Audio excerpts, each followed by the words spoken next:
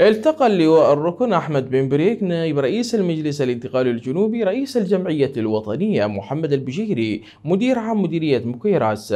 وفي اللقاء تم مناقشة الوضع السياسي والعسكري في الجنوب عموما والمديرية. على وجه الخصوص وما تعانيه من وضع مترد يزداد سوءا يوما بعد يوم مما يفاقم معاناة المواطنين.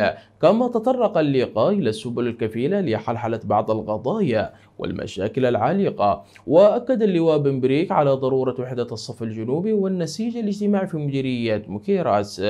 مؤكدا الالتفاف حول قيادة المجلس الانتقالي الجنوبي ممثلة بالقائد عيدروس الزبيدي رئيس المجلس ومشيدا بأبناء المديرية عامة والمقاومة الجنوبية خاصة في مواجهة تمدد الحوثي في كل جبهات والتصدي للحشود الحوثية.